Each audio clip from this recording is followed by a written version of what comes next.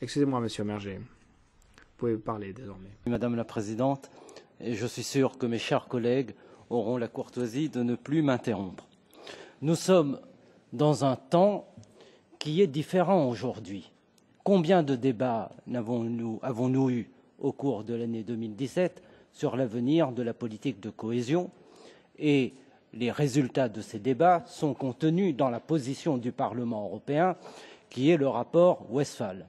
Et nous avons également, en commission budgétaire, élaboré le rapport Thomas et le rapport Albright, qui sont des rapports très intéressants sur le euh, futur CFP. Mais à ce moment, nous sommes dans un moment très grave, très important, où les arbitrages vont être pris concernant les futures dotations budgétaires qui vont tout conditionner. Et nous sommes dans cette zone rouge et nous sommes suspendus aux décisions qui vont être prises par d'autres.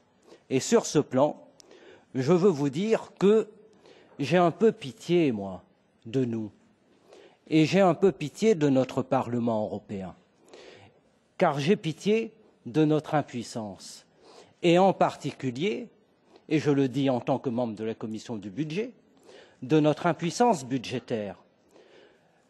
Car si nous avions un vrai Parlement qui pouvait travailler sur un vrai budget et non pas un vrai faux Parlement qui travaille sur un vrai faux budget, alors tout se poserait dans des conditions différentes et je ne suis pas certain que nos incantations répétées résisteront devant les dures réalités qui sont celles du Conseil. Mais soyez assurés que vous pouvez compter sur nous pour agir autant que possible partout là où nous le pouvons pour que l'essentiel soit sauvegardé.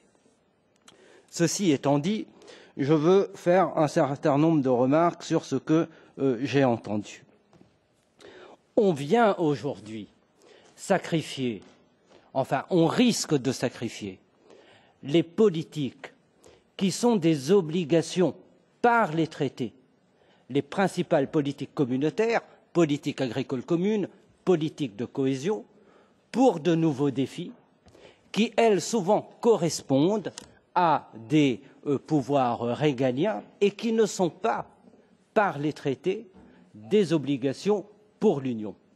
Et ce, sont ces choix-là qui vont devoir être faits. Et nous sommes à ce moment où finalement toutes les contradictions sont en train d'émerger et nous sommes enfermés dans ces euh, contradictions. Eh pour ce qui me concerne, je crois qu'il faut consolider, si nous voulons consolider le projet européen, il faut consolider ce qui est une obligation euh, portée par euh, les traités et je le dis d'autant plus facilement que je ne suis pas euh, pour une politique de défense, que je considère qu'en matière de sécurité, nous devons venir en appui, mais que les États doivent faire euh, l'essentiel, et pareil pour la question migratoire dans le contexte budgétaire que vous connaissez.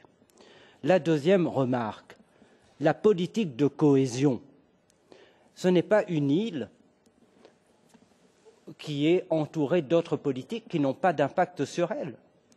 Si la politique de cohésion n'a pas atteint tous ses résultats, si le septième rapport de la cohésion montre qu'il y a encore des disparités, c'est bien parce qu'il y a des politiques économiques globales qui viennent affaiblir les efforts réalisés par la politique de cohésion. Et vous ne serez pas surpris euh, de m'entendre dire que ce sont les politiques d'austérité qui ont empêché euh, la mise, le renforcement des services publics dans nombre de pays européens. On a parlé d'éducation, eh bien effectivement en matière d'éducation, mais on pourrait parler de santé, etc., qui font qu'il est très difficile d'atteindre les objectifs. Et c'est pourquoi l'adossement de la politique régionale au semestre européen, à mon avis, a été une décision très négative, ainsi que les recommandations euh, par pays. Et pour ce qui nous concerne, nous sommes contre, résolument contre, et nous considérons que cela conduit au fur et à mesure, par petits glissements successifs, à dénaturer une politique qui doit demeurer une politique de solidarité. Enfin, je n'ai pas entendu parler dans les priorités de la pauvreté. Mais vous savez que la pauvreté aujourd'hui, malheureusement, redevient une priorité européenne, la lutte contre la pauvreté, et en particulier dans les régions euh, riches, et je crois qu'il faudra là en faire une priorité. J'aurais beaucoup de choses encore euh, euh, à, dire. Ce que je veux dire pour conclure. Concernant les conditionnalités, notre groupe est contre, par principe, les conditionnalités.